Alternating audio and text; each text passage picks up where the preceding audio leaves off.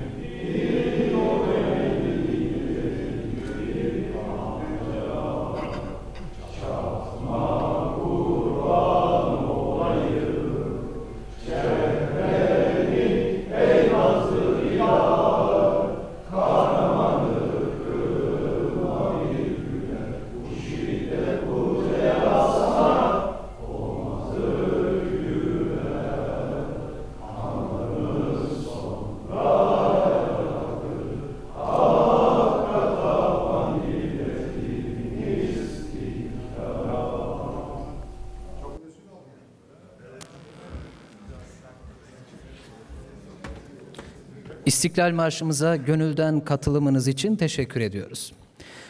Programımıza devam ediyoruz kıymetli misafirler. İkinci oturum ve cumartesi şuramız birbirinden zengin dört oturumla devam edecek ve pazar günü kamuoyuna sunacağımız sonuç bildirgemizle şuramızı nihayete erdirmiş olacağız. Bugünün programını arz ediyorum. Selamlama konuşmaları, açılış dersi, insan ve iktisat başlıklı birinci oturum, iktisat, tüketim ve ahlak başlıklı ikinci oturum. Şimdi tertip heyeti adına konuşmasını yapmak üzere Türkiye Yazarlar Birliği Genel Sekreteri Yardımcı Doçent Doktor Muhammed Enes Kalay'ı kürsüye davet ediyorum alkışlarınızla.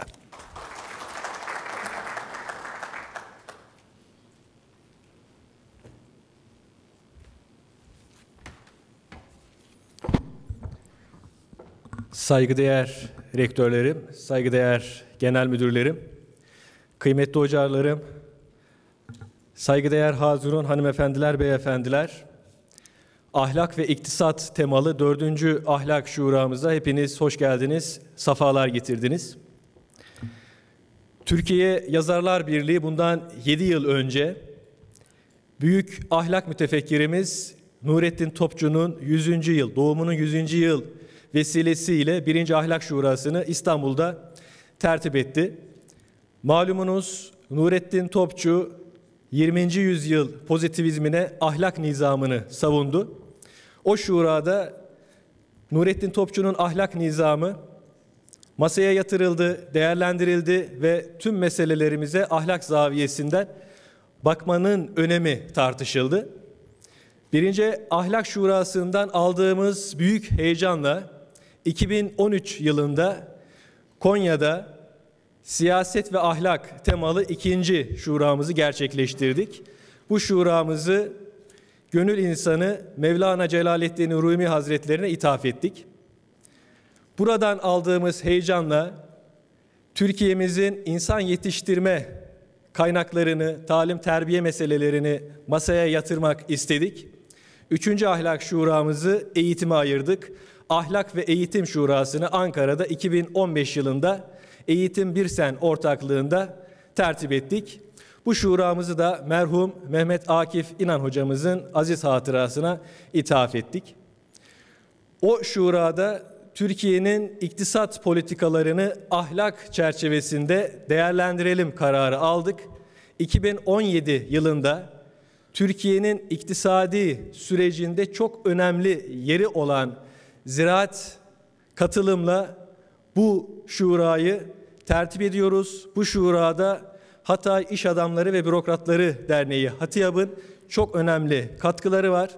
İzninizle kendilerine başta Ziraat Bankası Genel Müdürü Hüseyin Aydın Beyefendiye, Ziraat Katılım Genel Müdürü Metin Özdemir Bey'e, Ziraat Bankası Yönetim Kurulu Başkanı Muharrem Karsız Bey'e, Hatay İş Adamları ve Bürokratları Derneği Başkanı İbrahim Güder Bey'e, bu organizasyonu gerçekleştirmek için işin mutfağında ter döken emeği olan Mehmet Tuğrul Bey'e, Yunus Emre Aydınbaş Bey'e, kıymetli başkanlarım, Şeref Başkanımız Mehmet Doğan Bey'e, Genel Başkanımız Profesör Doktor Musa Kazım Arıcan Bey'e huzurlarınızda şükranlarımı arz ediyorum.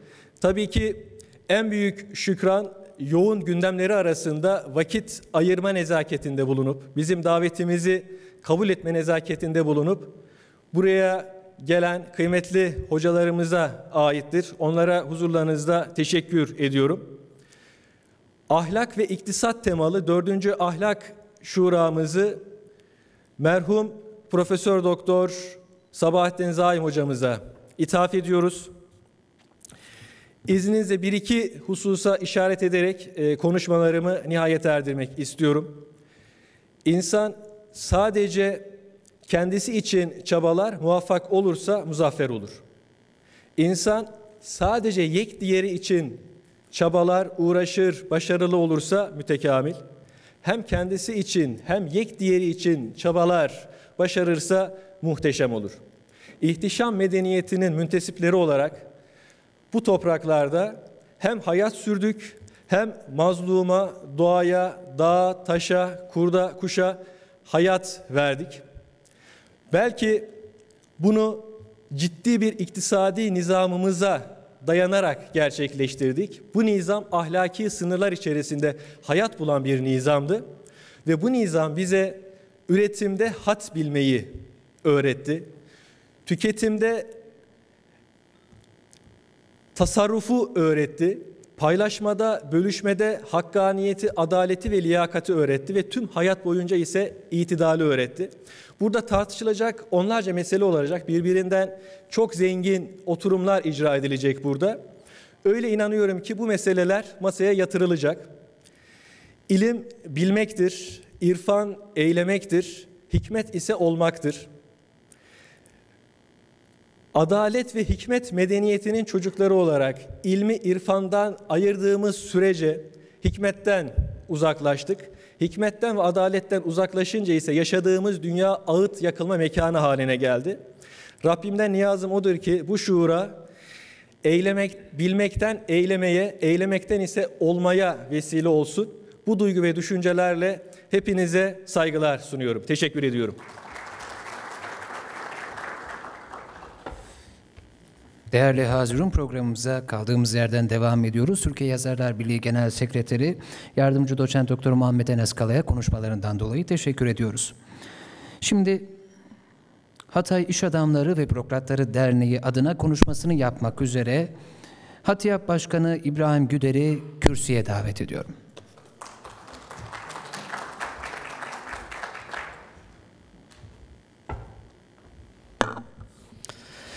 Değerli misafirlerimiz, kıymetli genel müdürümüz ve ilim irfan sahibi değerli büyüklerimiz cümleten hepinize hoş geldiniz, şeref verdiniz. Hatay'da olmanızdan büyük onur duyduğumuzu ben burada belirtmek isterim. Hatay İş Adamları Bürokratlar Derneği takriben 6500 civarında üyesi olan 1600 küsür tane öğrenciye her ay aksatmadan burs ödeyen bir sivil toplum kuruluşudur. Biz de sizlere layık olmak adına gelecek nesillerimiz, öğrencilerimiz, geleceği teşekkür eden o gençlerimize daha verimli, daha katkılı emek vererek onların böyle toplumda daha saygın, yarınları daha iyi böyle taşıyabilecekmeleri için de elimizden geldiğince gençlere de yardım ve destek ediyoruz. Takriben 5000 tane kayıtlı öğrencimiz var. Her üniversitede Hatay İş Adamları Bürokratlar Birliği'nin gençlik yapılanması olan Genç Hatiyap'la bir üniversite yönetim kurulları teşekkülü var. Bu gençlerimizi iki ayda bir toplayarak bunlara hayat başarısı, ahlak, edep üzerine olsun e, bir takım farkındalıklar verme gayretlerimiz devam etmektedir. Tabi buradaki e, temel konumuz ahlak ve iktisat. E, ben bunu muhterem hocamdan, Musa Kazım hocamdan duyduğumda gerçek anlamda çok etkilendiğimi söylemek istiyorum. Çünkü piyasa ekonomisinin dinamizmini oluşturan e, bu özellikle de iktisadi değerler eğer iyi bir algı oluşturulmadan, iyi bir ahlaki değerlere sahip olmadan e, yönetildiği takdirde ve buna yön veren piyasa aktörlerine bu değerler yoksa tıpkı 1994, 2001, 2008 gibi ve daha önce ve daha sonra oluşan krizlerin hep temelini oluşturmaktadır.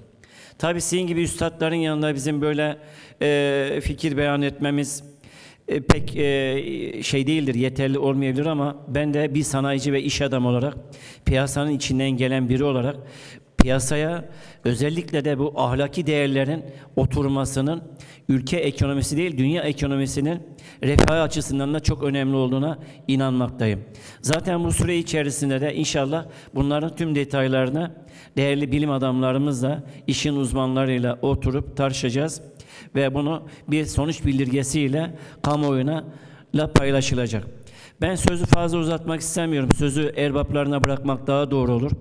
Özellikle Hatay'ın tercih edilmesi böyle milattan önce 100 bin yıllara dayanan bir kadim şehir olan medeniyetler şehri Hatay'da bunun tertiplenmesi bizim için de ayrı bir anlam teşekkül etmektedir. Tekrar ben tüm misafirlerimize hoş geldiniz diyorum. Başta e, bu e, Türkiye Yazarlar Birliği kurucu başkanımıza, onursal başkanlarımıza, genel başkanlarımıza, çok değerli yönetim kurulu üyelerine, ilim, bilim, irfan sahibi abilerimize hoş geldiniz diyorum. Hepinize saygılarımı hürmetle arz ediyorum. Teşekkür ediyorum.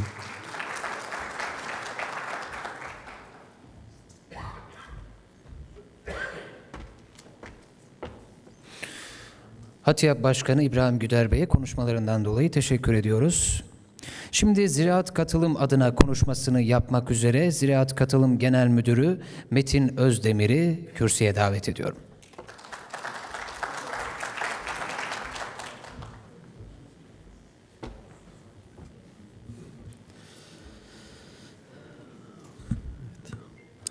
Rahman ve Rahim olan Allah'ın adıyla. Alemlerin Rabbi olan Allah'a hamdolsun.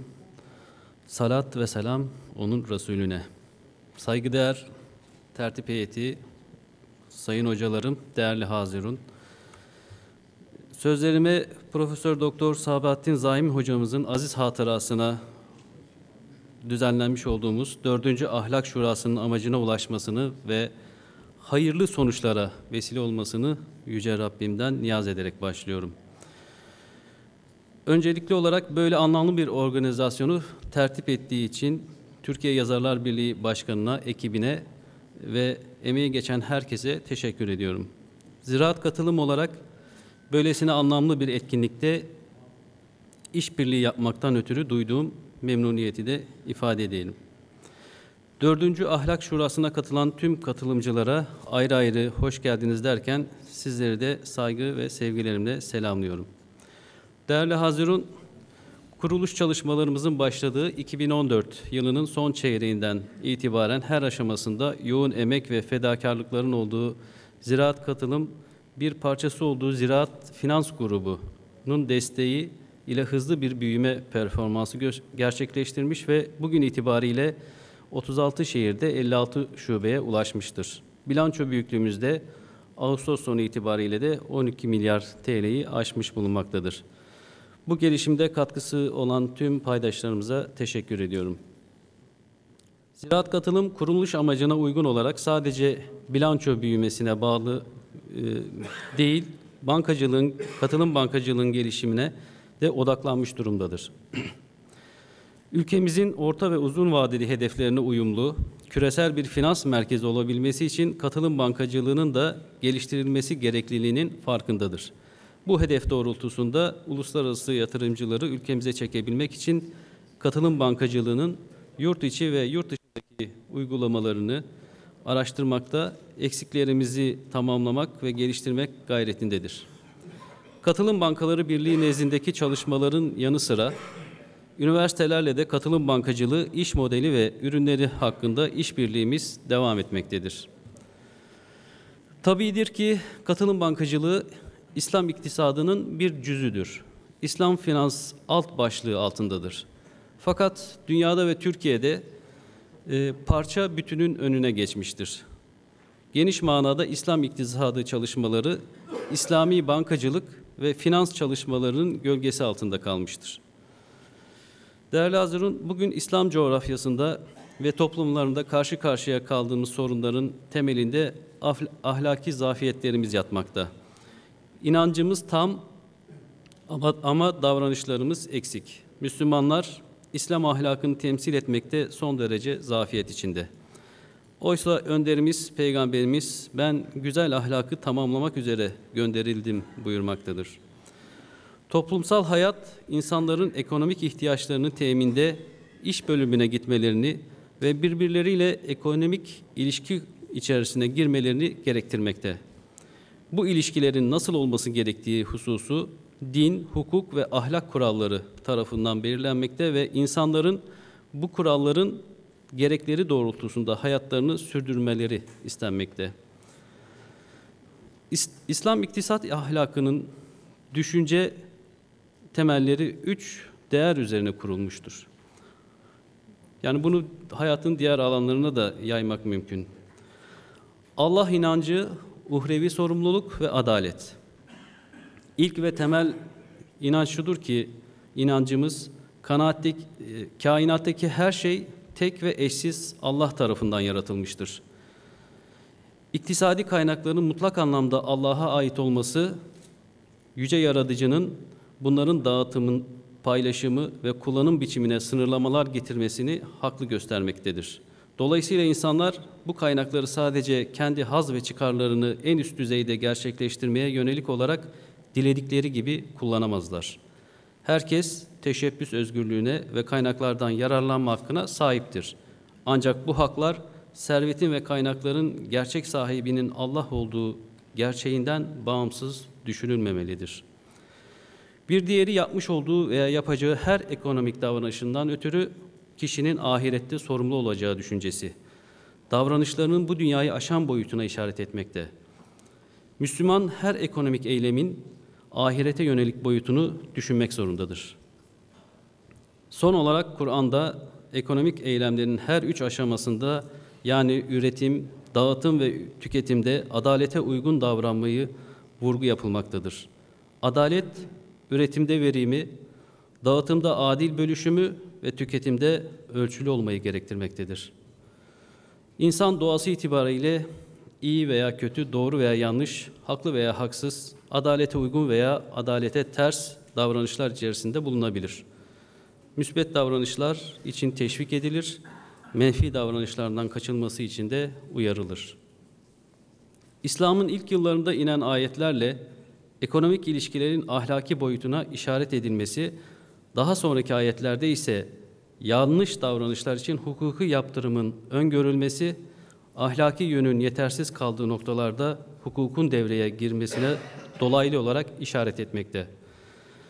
Bu da İslam'ın temel gayesinin ekonomik ilişkilerde hukuka ve yönetime fazla iş bırakmadan meseleyi ahlak zeminde çözmek olduğunu göstermektedir. Değerli katılımcılar, ziraat katılımı olarak iş süreçlerimizde kaynağını inancımızdan alan ahlaki değerleri esas almaya devam edeceğiz. Ülkemiz ve ümitlerini ülkemize bağlamış toplumlar adına bugünden daha güçlü olmak için hep beraber çalışmaya, katılım bankacılığının ruhunu temsil eden paylaştıkça daha fazlası ilkemize büyümeye devam edeceğiz. Toplantılarımızın İslam iktisat çalışmalarına ülkemiz ve insanlığa hayırlar getirmesini temenni ediyor. Hepinizi saygı ve sevgiyle selamlıyorum.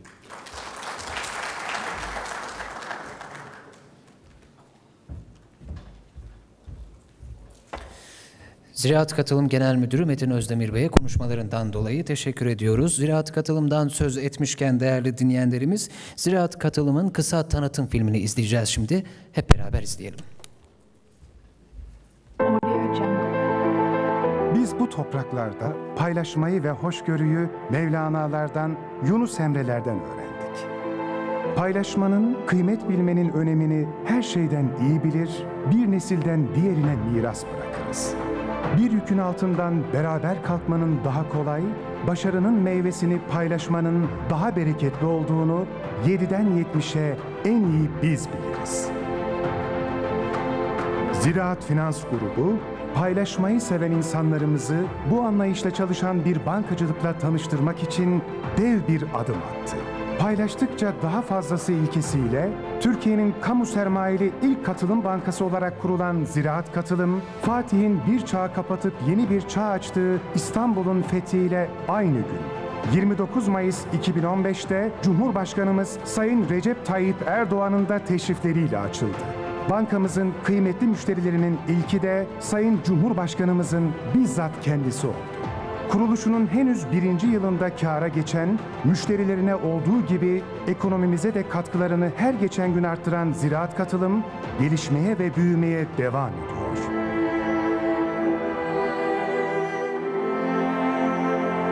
Türkiye genelinde hızla yaygınlaşan şube ağı, genç ve işinde uzman çalışanları, katılım bankacılığı esaslarına uygun yenilikçi ürünleri ve alternatif dağıtım kanallarıyla katılım bankacılığı yolunda emin adımlarla yürüyor. Risk ve getirinin paylaşılması esasını temel alarak krizlere karşı daha dirençli bir iş modeli sunan Ziraat Katılım, Körfez ülkeleri başta olmak üzere yurt dışı fonları ülkemize yönlendirerek Türkiye'ye fayda sağlamayı amaçlıyor. Ziraat Katılım, bir buçuk asrı aşan ziraat markasının gücü ve deneyimiyle Türkiye'nin küresel hedeflerine ulaşması için paylaşarak büyümenin kıymetini biliyor ve katılım bankacılığını geliştirme stratejisiyle yalnızca sektörden aldığı payı artırmayı değil, katılım bankacılığının genel bankacılık sektörü içindeki payını da yukarılara taşımak için var gücüyle çalışıyor.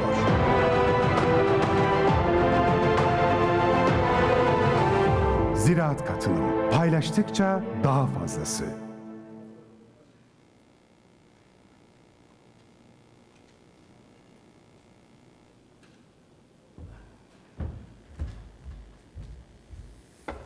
Filmin hazırlanmasında emeği geçenlere teşekkür ediyoruz. Kıymetli misafirlerimiz şimdi Türkiye Yazarlar Birliği tarafından gerçekleştirilen ahlak şuralarını hülasa eden kısa tanıtım filmini de izleyeceğiz.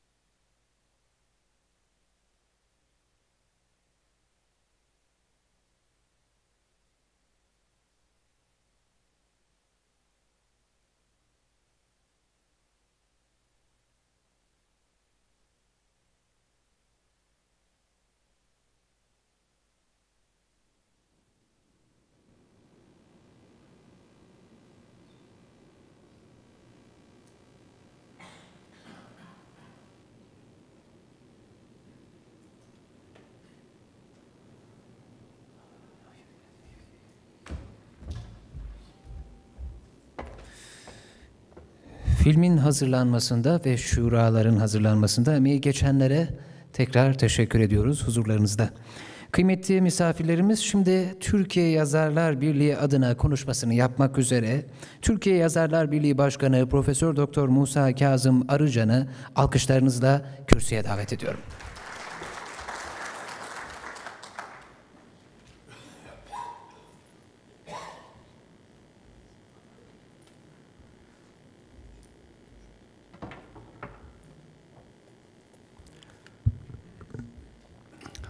Muhterem Hazirun, hepinizi hürmetle, saygıyla selamlıyorum. Bugün buraya aslında bir koşuşturmacayla geldim. Karşınıza çok daha sivil, belki de hazırlıksız bir şekilde çıktım. Mukaddes beldelerdeydim. Tabi oranın selamıyla, selamlarıyla geldim. Hamdolsun Mevla bize oralara gitmeyi nasip etti. Tabi ani gelişen bir program oldu benim için. Normalde pazartesi dönmemiz gerekiyor idi. Bu programa da oldukça fazla emek verdiğimiz için en azından açılışında bulunmak üzere biraz koşuşturmacayla geldik. Affınıza sığınıyorum.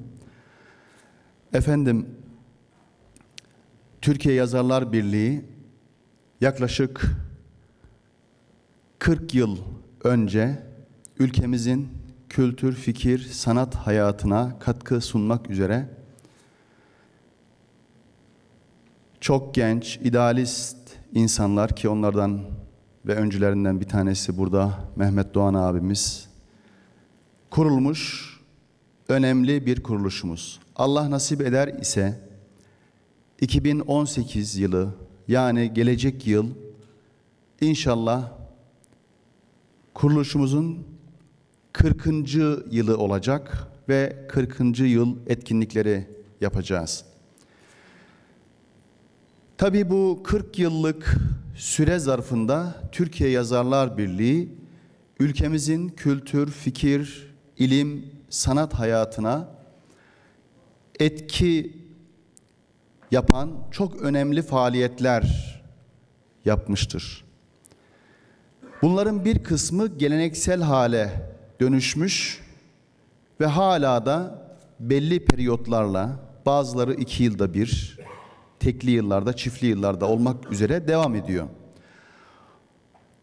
Şehir tarihi, Türk Dünyası Şiir Şöleni, Ahlak Şurası gibi çok köklü faaliyet alanlarımız var.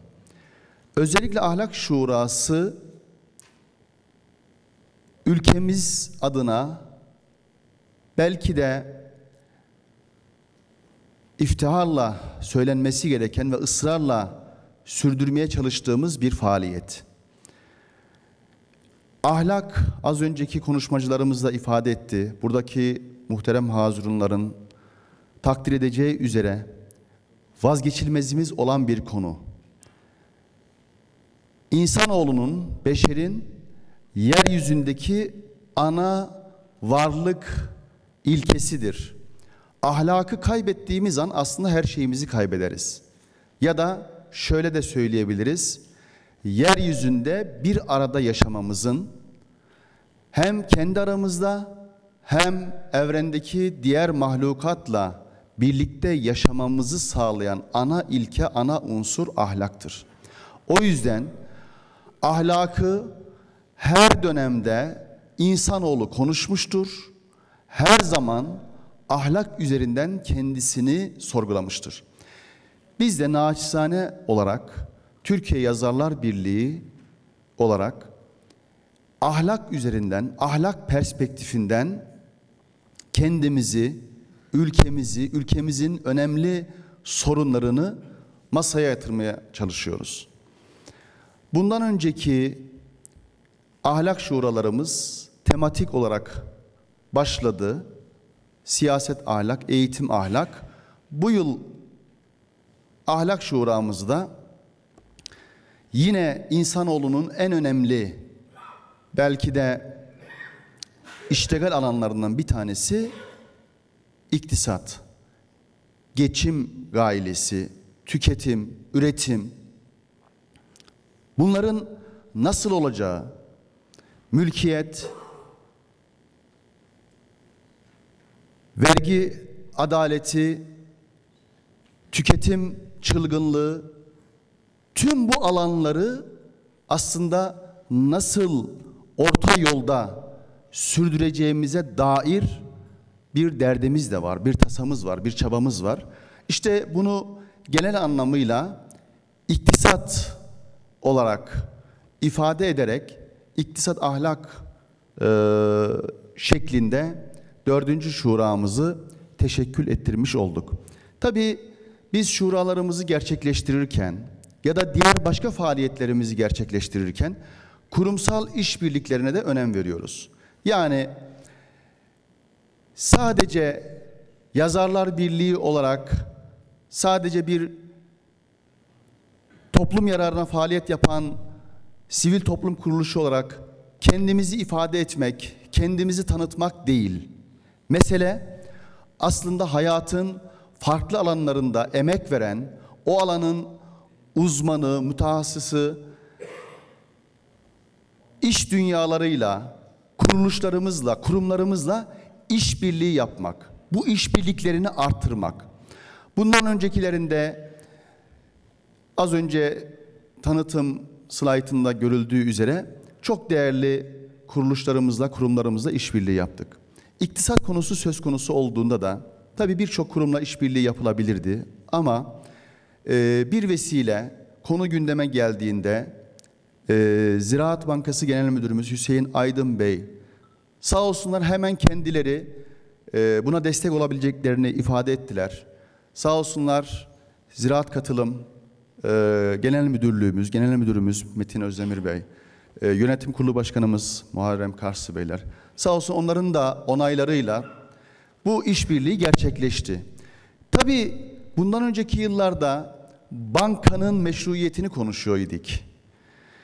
Geldiğimiz nokta itibariyle aslında bankacılık sistemini de biz belki daha iyi noktalara taşıma adına çabalar gösteriyoruz. İşte kurumlarımız az önce ziraat e, katılımın tanıtım filminde de gördüğümüz üzere çok güzel e, çabalar e, ortaya konuyor ve bunu ahlakla birlikte ele almak ve bu konuda bu çağın insanları olarak bizlerin söyleyeceği sözler, bizlerin en azından perspektifleri, bakış açıları e, önemli katkılar sunacaktır. Gelecek nesillere önemli birikimler bırakacaktır. Ben bu şuraya destekleri için e, Ziraat Genel Müdürlüğü'ne, Ziraat Bankası Genel Müdürlüğü'ne, e, Katılım Bankacılığı Genel Müdürlüğümüze, Yönetim Kurulu Başkanlığımıza e, çok teşekkür ediyorum.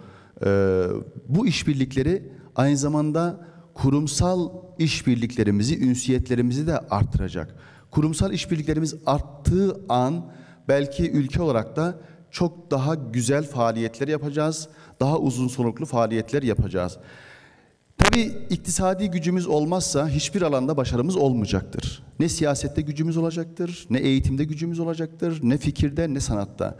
O nedenle iktisat konusu gerçekten çok önemli. Dünyada belki de Türkiye'nin söz sahibi olabileceği en önemli alanlardan bir tanesi. Burada önemli fikir, düşünce insanlarımız var. Tabii ki bu faaliyetlerin gerçekleşmesinin en önemli belki de parametrelerinden bir tanesi katılımcılarımız, buraya destek veren fikir e, insanlarımız, ilim erbabımız.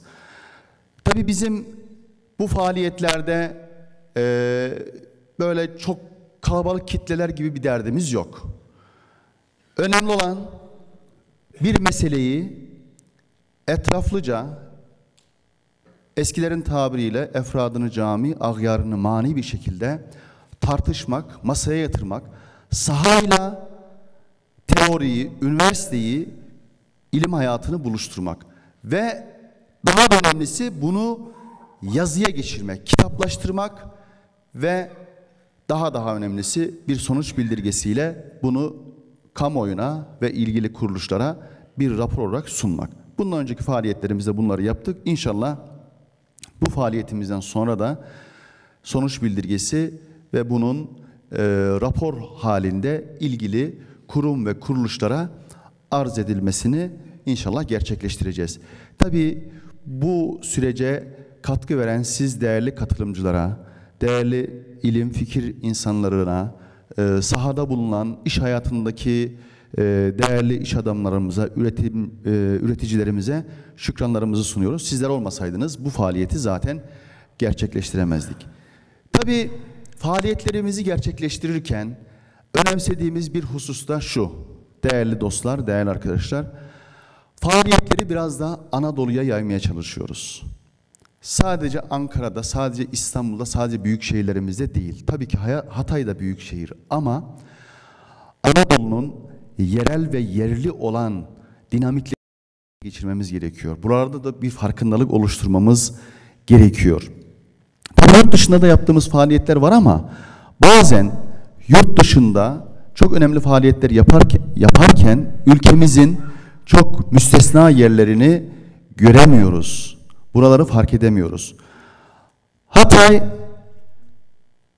ülkemizin en kadim şehirlerinden bir tanesi. Birçoğunuzun malumları olduğu üzere. Aslında e, dünyanın en erken büyük şehirlerinden, metropollerinden bir tanesi. İskenderiye, Kudüs, Roma, e, Antakya.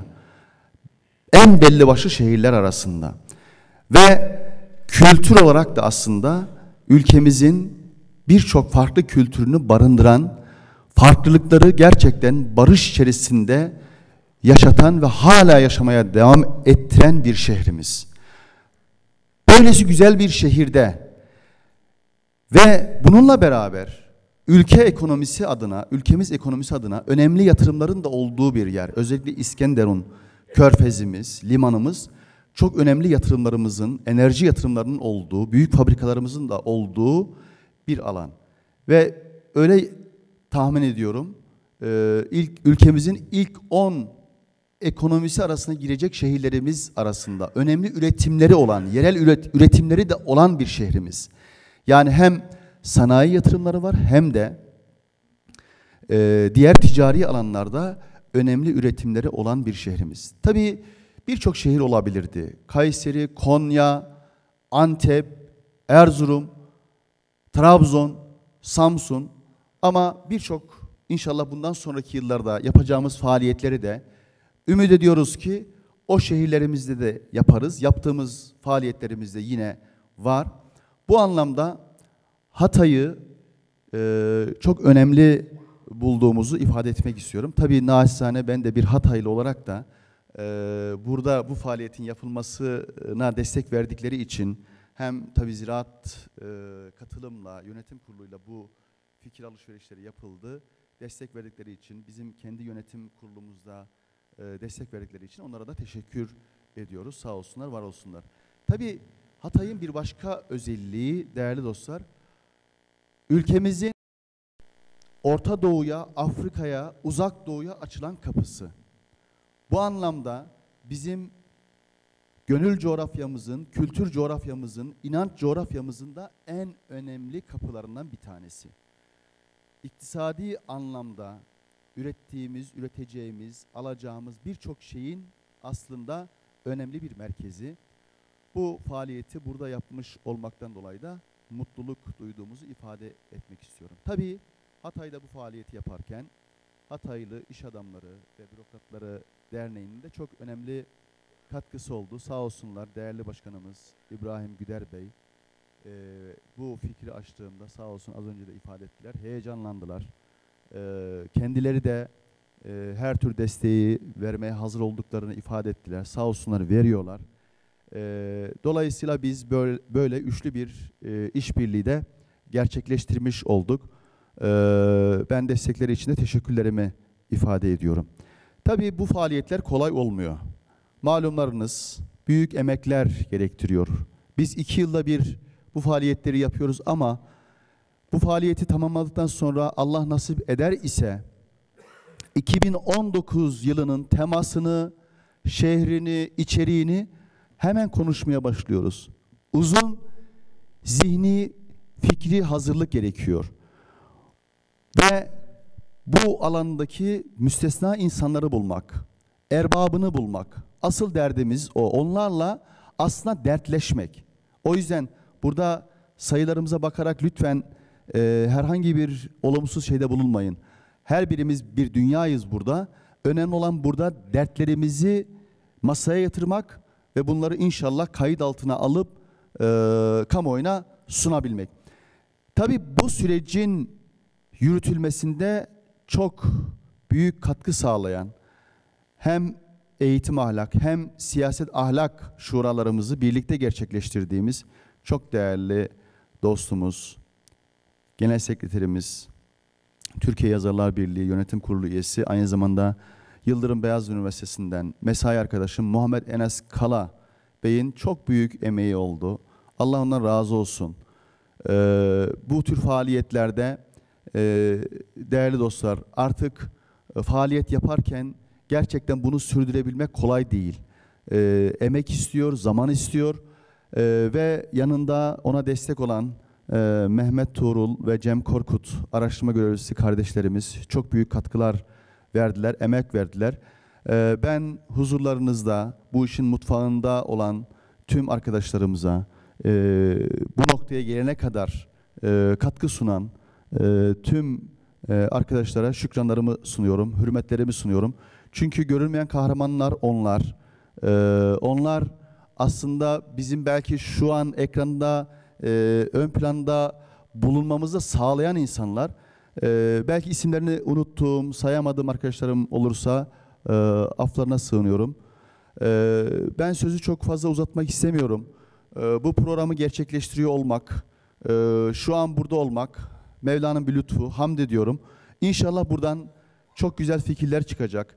Çok bereketli e, fikirler, düşünceler üretilecek. İnşallah bunları kayıt altına alacağız. Bunları e, bir sonuç bildirgesiyle kamuoyuna duyuracağız. İnşallah bir rapor olarak da ilgili kuruluşlara da az önce ifade ettiğim gibi sunmaya çalışacağız. Ben bu şuramızın hayırlara vesile olması ve sizlerin destekleri, katkıları ile e, inşallah çok güzel kararlar alınmasına vesile olmasını temenni ederek hepinize hürmetlerimi, şükranlarımı, saygılarımı sunuyorum.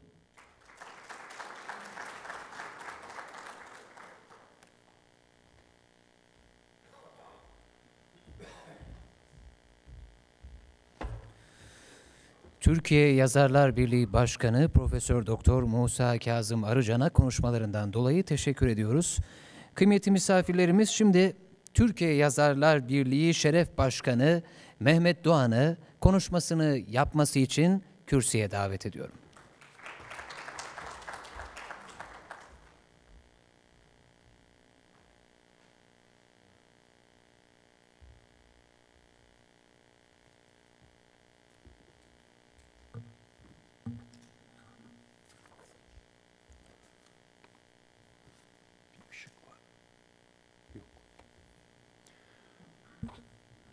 Muhterem misafirlerimiz, değerli katılımcılar, hepinizi hürmet ve muhabbetle selamlıyorum.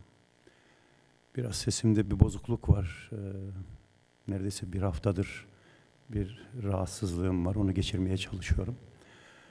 Mevzu görüldüğü gibi bir hayli sıkıcı. Ben e, mevzuyu daha sıkıcı hale getirecek bir konuşma yapacağım. Ve bunu da ne yazık ki kağıttan okuyarak yapacağım. Ee, daha başlangıçta hepinizden özür diliyorum.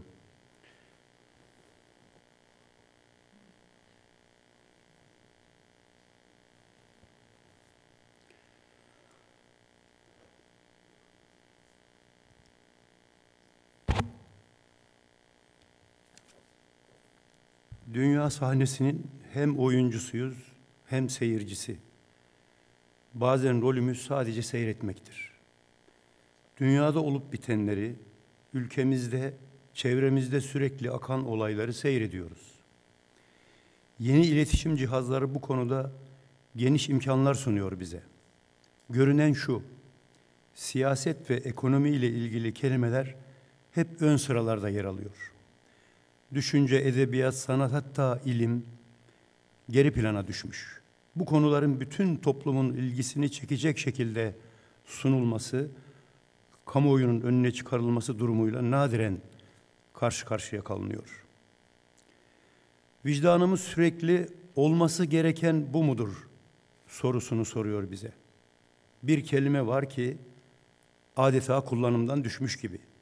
Fakat biz izleyiciler olup bitenleri seyrederken zihnimiz gayri ihtiyari bu kelimeyi çağırıyor. Bugün sokağa çıkan herkes, sokağın evin içine giren unsurlarına, radyoya, televizyona, gazetelere ve internete muhatap olan herkes, telaffuz etsin, etmesin, ciddi bir ahlak aşınmasının, değer kaybının, daha net söyleyelim, insanlık yitiminin farkında. Ahlakın insanlıkla eşdeğer ve insanlık tarihi kadar eski bir kavram olduğunu hatırlamamız gerekiyor. Akıl bize ahlaklı olmayı telkin ediyor. Kalp insanın ahlaklı olmasını istiyor. Dinden konuştuğumuzda aslında ahlaktan konuşuyoruz. Son peygamber güzel ahlakı tamamlamak için vazifelendirildiğini söylüyor. Filozoflar ahlakı insanın kendisini bilmesi olarak tarif ediyor. Adalet, merhamet, iyilik, sorumluluk, vazife, dayanışma bütün toplumlarda, bütün dillerde ortak kavramlar. Ahlakın kaideleri bu ve benzeri evrensel ilkelerden çıkarılıyor. İç siyaset, dış siyaset, ekonomi, geçim gailesi, refah seviyesi derken günler süratle gelip geçiyor. Vitrindeki meselelerin gölgesinde kalan gerçek meseleler, asıl insanlık meseleleri üzerinde durmak, düşünmek, fikir üretmek ve onu uygulamaya dönüştürmek iradesinden yoksun yaşıyoruz. Türkiye bir dönem ahlaktan kaçtı. Çünkü yönetenler onun doğrudan dinle ilişkili olduğunu düşündüler. Ahlakilik, dinilik paralelliği kurarak laikliğe aykırı saydılar. İnsan ilişkilerini sırf kanunlarla, mevzuatla düzenlemeye çalıştılar. Ahlak kelimesinin dini boyutundan kaçılarak sonunda toplum tahayyülünde anlamı oluşmayan etiğe sığınıldı. Ahlaka etik demekle bir şey halledilmiyor. Devlet etik kuralları oluşturuyor fakat ahlakın kurul işi olmadığı unutuluyor. Temel meselesi insan olan bir toplumun ahlakı ıskalaması, ahlaktan kaçması hatta ahlak karşıtı tutumlar benimsemesi düşünülemez. Türkiye'de bu düşünülemez olmuştur. Basın yayın cihazı ahlak dışılığı hayat tarzı olarak sunma konusunda belki de hiçbir toplumda bu kadar muhteris olmamıştır. Kitlelere gayri ahlakilik öğretilmekle kalınmıyor, yaşanılabilirliği ve de adeta ezberletiliyor. Bu yaşanabilirlik kabul edilirliğin ötesinde takdir edilirlik derecesine doğru yükseliyor. Böylece neredeyse ahlakilik marjinal hale getiriliyor. Türkiye'nin derinleşen insan meselesi her alanda ahlaki kaygının fiillerimizden dışlanması ile ilgilidir. En başta şahsi ikbalini toplumun, milletin önüne geçiren bir insan portresiyle karşı karşıyayız. Eğitim sistemimizde öğrencilere geleceğini kurtarmak adına herkesin kendi gemisini kurtarması gerektiğini telkin ediyor. Genç nesiller arasında bencillik, egoizm, bütün iyi hasletleri silercesine yükseliyor. Bugün Türkiye'yi hiçbir iç veya dış düşman ahlaki değerlerin aşınması ölçüsünde tehdit etmiyor. Öğretim kurumlarımız gittikçe büyüyen devasa bir öğretme cihazına dönüşüyor. Bedenimize verdiğimiz değeri bizi biyolojik varlığın üstüne yükselten ruhumuza vermiyoruz. Zihnimin gıdası sadece bilgi ve gayemiz bu bilgiyi kullanarak başarıya ulaşmak olabilir mi? Yedi sene önce bu konuları konuşmak ve tartışmak için sahanın ilgilileriyle ve bilgileriyle bir başlangıç yaptık. İstanbul'da birinci ahlak şurasını gerçekleştirdik. Ahlak şurasının açılışında söyleyeceğim birkaç söz beni ilk şuramızı ithaf ettiğimiz Nurettin Topçu'yu tekrar okumaya sevk etti. Bazı, bazı cümleleri zihnime adeta kazındı. Menfaat aşkımızın katilidir. Tabii insanın çıkarlarını gözetmesinin yanlış bir tarafı yok. Bunu yaparken adalet, hakkaniyet, nısfet gibi ilkeleri ihmal etmemişse, Rabbena hep bana dememişse, bu ahlakiliğin ötesi de var elbette. Önceliği kendine vermemişse, bu benim hakkım ama benden güçsüz, fakir, zayıf kimseler var. Onların hakları ne olacak diyebilmişse, son devirde bilmeyi, bilgiyi yücelttiğimiz gibi siyaset ve iktisat gibi alanları da adeta dokunulmazlaştırdık. Kendi kuralları ve kanunlar içinde dokunulmaz, dokunulamaz alanların varlığı birçok kimseyi rahatsız etmiyor. Olanı, süreni, yürüyeni her şeye rağmen kabullenmek, menfiliklerini, olumsuzlukların işin tabiatı gibi görmek eğilimi baskın hale geliyor. Var olanı tanırız, biliriz. Bilgi bizi gerekeni, ideali araştırmaya götürmezse eksik kalırız. Mevcuttan hareket etmek fakat gerekeni, ideali araştırmak ise bizi ahlak alanına sokar. Bu durumda ahlak sürüp gidene itiraz, karşı koyma ve insan için ideali hedef olarak gösterme şeklinde tezahür eder. Mehmet Akif'in yüksek sesle söylediği çiğnerim, çiğnenirim, hakkı tutar kaldırırım mısra güçlü bir ahlaki tavır ifadesinden başka bir şey değildir. Merhum hocamız Nurettin Topçu'yu hatırlarsak insanın ahlaki hareketi mevcut yapı içinde isyan gibi görünse bile sonsuzluğun iradesine bağlılıktan ötürü hakka teslimiyettir aslında. Dördüncü ahlak şurasında konumuz iktisat. Siyaseti konuştuk, eğitimi konuştuk. Yine ağır bir konu var gündemimizde. Yıllar önce Umumi İktisada Giriş isimli bir tercüme kitap okumuştum. Giaton Piro, yanlış telaffuz ediyor olabilirim, Fransız e, ait bu kitap. 1945'te İktisat Fakültesi yayın olarak çıkmıştı. O zaman tek İktisat Fakültesi var, İstanbul. E, ve bunun, bu kitabın mütercimi de Turan Feyzoğlu idi. Biz yaştakiler tanır, başbakan yardımcılığı, hatta başbakanlık bile yapmış bir siyasetçi olmuştu bizim zamanımızda. O zaman genç bir akademisyen olan Turan Feyzoğlu'nun çevirdiği kitapta bir cümle zihnimde kalmış. İktisat ne ahlakidir ne gayri ahlaki, sadece ahlak dışıdır. Bu düşüncenin temelinde iktisadi insan kavramı olmalı. İnsan yalnızca iktisadi sahiplerle, sebeplerle hareket eder. İnsan gerçekten sadece iktisadi saiklerle mi hareket eder? Bu soruya her zaman evet demek mümkün değildir. İnsanı ilgilendiren her şeyin ahlakın alanına girdiğini düşünenlerdeniz. Bu yönüyle iktisat da siyaset de ahlak açısından sorgulanabilir. Rahatlık, konfor, lüks, para, iktidar alışkanlık yapar. İçimizdeki sonsuz ahlakiliği arka plana atan da bu alışkanlıklardır. Bugün ahlaklı olmayı güçleştiren, ahlaksız olmayı kolaylaştıran çevre şartlarının baskısı altında yaşıyoruz. İrademizi sonsuzluğun iradesiyle birleştirmek ve öylece doğru olanı, ahlaki olanı istemek ve yapmak. Ülkemizde yaşanan problemlerin her alanında ahlaki kaygının fiillerimizden dışlanmasıyla ilgili olduğunu düşünüyoruz. En başta şahsi çıkarını toplumun, milletin önüne geçiren yaygın bir anlayışla karşı karşıyayız. Milletin binlerce yıl içinden süzüp getirdiği ahlak negatif bir değerdir, pozitif ilimde yeri yoktur diye dışlanırsa sırf kanunlarla, polis soruyla insan ve toplum ilişkileri sürdürülmeye çalışılırsa sonuç bu olur. Ahlakilik insanda bir aşkınlık meydana getirir. Gayri ahlakilik ise insanlık kaybıyla eşdeğerdir. Toplu yaşamak ahlaki zorunlu kılar. Hukuk sosyal zaruretlerden doğar, ahlak ferdi vicdanlarda oluşur. Hukuk sosyal realiteyi düzenler, ahlak ideali araştırır. Hukuk cezalandırır,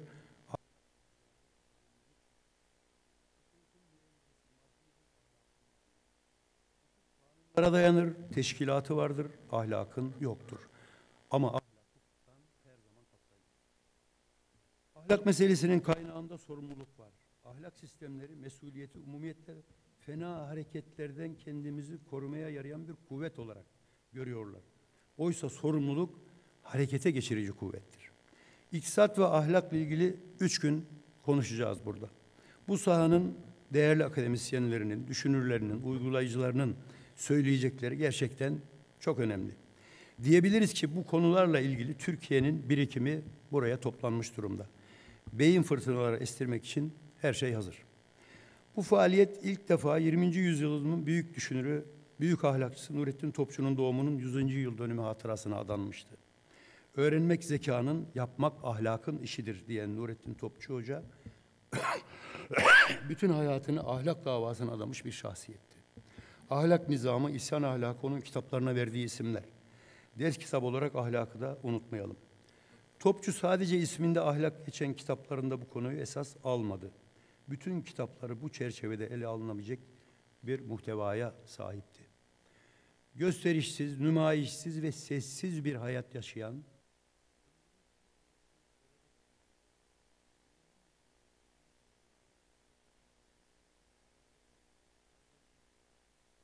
balıklara oynamaktan, her hal ve karda kazanmaktan, başarmaktan, yakın hedefleri ele geçirmekten kaçınan, hatta bunları kişilik zaafı olarak gören bir şahsiyetti. Hareketlerinde ve yazdıklarında mübalağaya, artistliğe ve role yer vermeyen, sözlerini veya fikirlerini asla dram katmayan bir şahs. Büyüleyici tesir uyandırmaktan bile bilerek kaçınmıştı. Her zaman yalın, sadeydi. Cezbedici olmuyor, cezbe göstermiyordu. Değil tesir etmek yani büyülemek, etkilemek dahi onun sözlüğünde yer almıyordu. Kendi önemini anlatmayan nadir insanlardan biriydi. Bak bu söylediklerim, yazdıklarım çok mühimdir demeyen, yaptıklarının öneminden kendi ehemmiyetine, büyüklüğüne gönderme yapmayan bir şahsiyet. Önemi, değeri ancak erbabınca malum. Özür dilerim. Batı'da yüksek seviyede felsefe tahsili yapmış bir genç düşünür, orada kazandığı bilgi ve fikir hamulesiyle insana, insanın içine, manevi hayatına yönelmenin gerektiğini ve aradığımız şeyleri kendimizde bulabileceğimizi söylüyordu. Ben seni uzakta ararken sen kendi evimde idin diyordu. 1925'te Sebilür Reşat'ın kapanmasından sonra Cumhuriyet tarihinin ilk fikri muhalefet dergisi olan 1939'da yayınladığı Hareket Dergisi'nin ilk sayısında ilk yazının başlığı Rönesans hareketleridir. Bu yazıda Avrupa'nın bu asırda neden Rönesans yapamayacağı şöyle izah ediliyor. 20. asrın milliyet Avrupa'sını yaşatıcı kuvvetlerin başında büyük, büyük sanayi bulunmaktadır. Ve büyük sanayinin 20. asırda kazandığı rakipsiz hakimliği, zümre istidadını hazırlayan, gayesi her şeyi tanımak,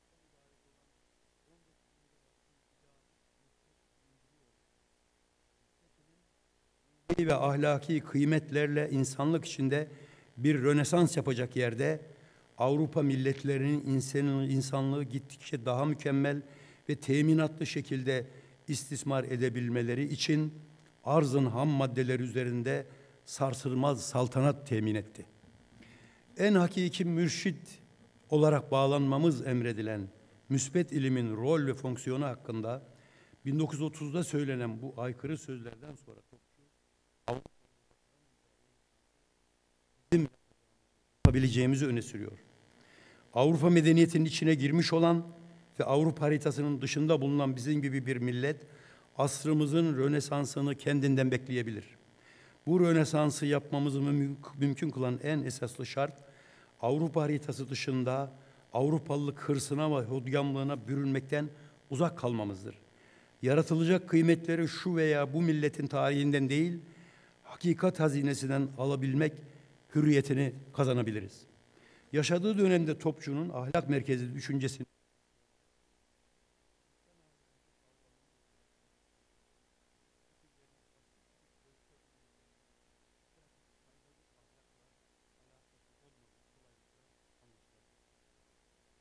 bir ahlaki örneğe neden lüzum var?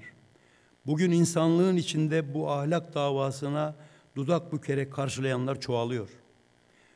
Kurtulmak için kurtarıcı olmaktan başka yol yoktur. Ya kendiniz başkaları için yaşayacaksınız ya başkalarını kendi yaşayışınız uğrunda kullanacaksınız. Birinci yolu seçmek için insanda kalp lazımdır. İkinci yol hayatı koruma içgüdüsünün yarattığı kalbe düşman zekanın yoludur. Bütün ahlaki davranışlarımızın hedefi sonsuzluktur. Bir topçu okuyucusu fayda, haz, menfaat, muvaffakiyet yani başarı kelimeleriyle alakasını keser. Çünkü ahlak ve insan onların ötesindedir. Ahlakı önemsizleştiren bir ülkede hukukun herkese lazım olduğu çok sık tekrarlanıyor. Bir gün ona ihtiyacımız olabilir manasına. Hukuku savunmanın güçlü bir zeminini oluşturuluyor böylece. Hukuk bir normlar sistemi. Arka planında kalın kalın mevzuat kitapları var. Hukuk sadece kanunlardan, yönetmeliklerden, daha doğrusu yazılı metinlerden mi ibaret? Bu metinleri yorumlamak, uygulamak için ve karar oluşturmak adil olmayı kanunlar, tüzükler, yönetmelikler emrettiği için mi adil oluruz? Ya kanun koyucular adil değilse hukuk metinleri nasıl adalet sağlayacak? Ya adalet kurumu mensuplarının adalet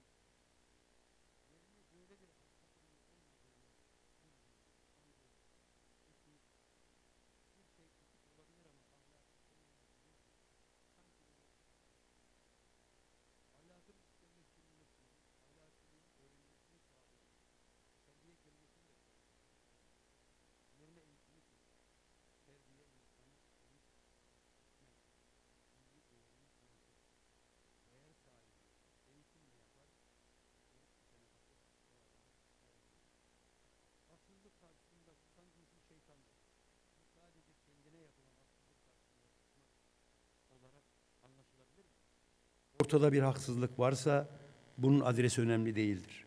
Gerçek bir haksızlık söz konusuysa hasım konumunda olanları da kuşatan bir tavır söz konusu olmalıdır. Hak her şeyin üstündedir. Ötekine de adalet istemeyen gerçekte adalet talebi talep etmiyor demektir. Evet ahlak herkese lazım. Kendine yapılmasını istemediğin şeyin başkasına yapılmasına müsaade etme. Hiç olmazsa ahlakın ilk derecesi olan bu şiar Türkiye'de yerleşmiş olsaydı birçok meselemiz çözülebilirdi. Bugün Hatay'da, Antakya'da bu medeniyetler kavşağı şehirde ahlak ve iktisat konusunu konuşuyoruz. Her isim, her kelime kendi alanı ile ilgili isimleri ve kelimeleri çağrıştırır. Antakya'nın bu anlamda çok zengin çağrışımları var. Dinler tarihiyle aydınlandığını görürüz. Tarihimiz açısından da güçlü çağrışımları olan bir şehir Antakya. 636 Yermük Savaşı'ndan sonra Antakya Müslüman dünyanın bir parçası oldu. Üç asır sonra tekrar Doğu Roma'nın hakimiyetine geçti. Bir asır kadar Bizans hakimiyetini Anadolu Selçuklu Devleti'ni İzmit merkezli olarak kuran Kutalmışoğlu Süleyman Şah bitirdi, sona erdirdi. İznik'ten hemen sonra bölgeye gelen Süleyman Şah, o günün şartlarını düşünelim. 1085'te kesin olarak Antakya'ya hakim oldu. Süleyman Şah da 9, 9 asır önce güçlü bir vatan oluşturma iradesinin parladığını görüyoruz. Haçlı seferleri sırasında kaybedilen Antakya, İslam tarihindeki rolü Selahaddin kadar önemli olan Memlük Sultanı Baybars tarafından tekrar kazanıldı. Tabii son hatırlatmamız bu toplantıyı aziz hatırasına ithaf ettiğimiz Sabahattin Zahim hocamızla ilgilidir. Sabahattin Zahim Hoca şahsen de tanıdığımız, muhabbet beslediğimiz Mehmet Akif, Mahiriz, Celal Hoca, Nurettin Hoca serisinden değerli bir şahsiyetti. Onun İslam iktisadı ile ilgili çalışmaları olduğunu da burada hatırlamamız gerekiyor. Türkiye'de başlangıç kabilinden bu çalışmaların bugüne yansımalarını bu toplantıda göreceğimizi umuyorum. Evet, iktisat ve ahlak değerli başkanımız dedi ki biz bundan sonraki şura ile çalışmaları hemen bu toplantı bittikten sonra başlıyoruz. iktisat ve ahlak konusunu da biz birçok kişiyle, kurum yöneticisiyle konuştuk. Herkes çok ilgi çekici buldu. Ama bunların içinde sadece Hüseyin Aydın Bey, Ziraat Bankası Genel Müdürü, bu ilgiyi e, belli bir ciddiyet içinde ele aldı ve benimsedi. E, kendisine müteşekkiriz. Ziraat Katılım Genel Müdürü Metin Özdemir Bey de aynı şekilde e, bu yönde bir tavır gösterdi. Kendilerine huzurlarınızda teşekkür ediyorum. Tabii mahalli olarak bu faaliyete e, destek veren Hati Yapı'da e, ve onun başkanı İbrahim Güler'i de unutmamamız gerekiyor. Evet, e, bu sıkıcı toplantının en sıkıcı konuşmasını burada sonlandırıyorum. Hepinize saygılar, sevgiler sunuyorum.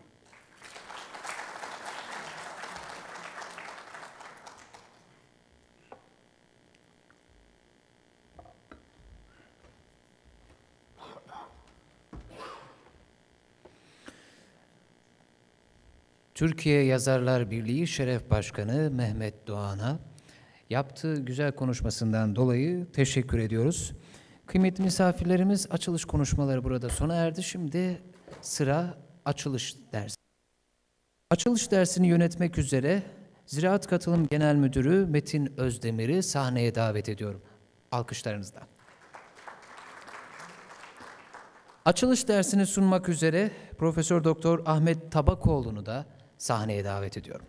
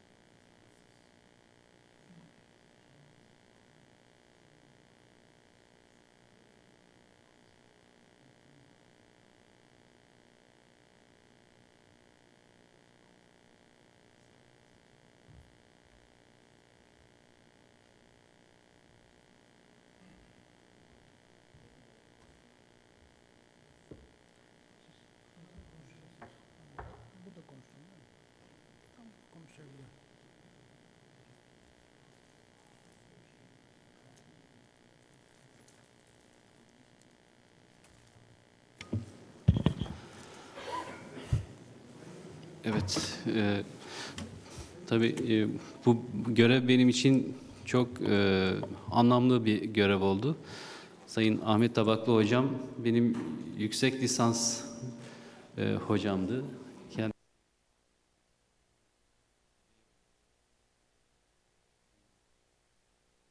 sonra ben de ilk defa canlı olarak karşılaşıyorum tabii. Ee, tabii sözü kendisine tevdi ediyorum. Hocamızın engin bilgilerinden istifade etmek için can kulağıyla dinleyeceğim inşallah.